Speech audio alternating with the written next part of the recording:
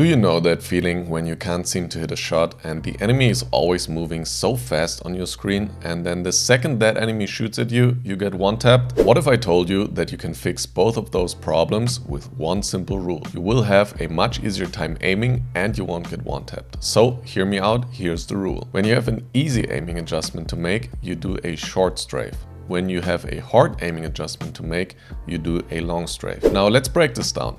The first part simply means that when you are engaging into a fight that you are well prepared for, that you have good crosshair placement for, and that you can quickly win with a little micro flick onto the head, then you should aim to stop moving early, execute that micro flick and get that kill.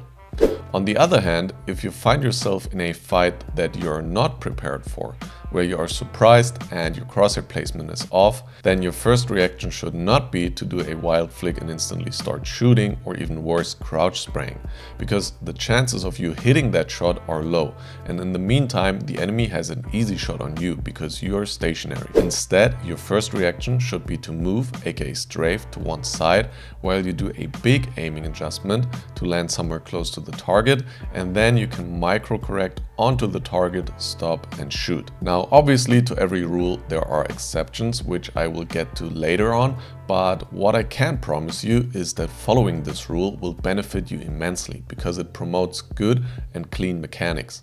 You aim while you move and stay a hard target. You only fire bullets when you are ready and have a good chance to be on target and you apply the correct aiming mechanics at the correct time. This does not only work when you first peek into the enemy. Even when you both miss your first shots and it turns into an extended fight, you can use this rule. If you barely miss the enemy and your crosshair is right by his head, you can just do a very small counter strafe and immediately correct with a micro flick to kill.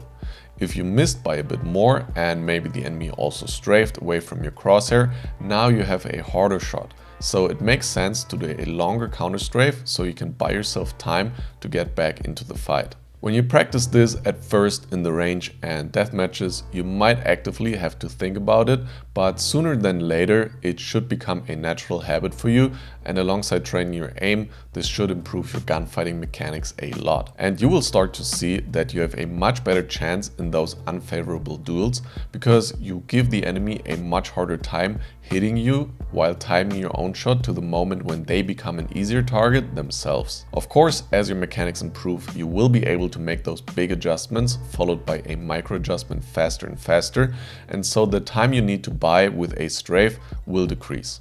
And of course, applying this rule won't mean that you will never get one-tapped or never lose a fight again. It will just increase your duels percentage, which is one of the stats, by the way, you can see on our free analysis and improvement tool Insight, so make sure to check that out.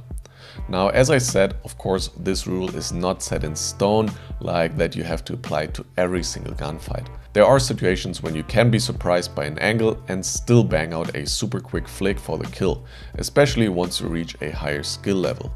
Or a twist to this approach that a lot of good players use is that when they get surprised by an enemy, they do a very quick flick towards target and that zone for a brief moment to fire one or two bullets and potentially kill, while landing their crosshair close to the target at the same time. After that you can then strafe again and do the easier aiming correction. You will find your aiming style with time, so just give it that and keep practicing. In the meantime, you can watch this video on how to improve your decision making, which next to gunfighting mechanics is another super important factor to win more games. I'll see you there.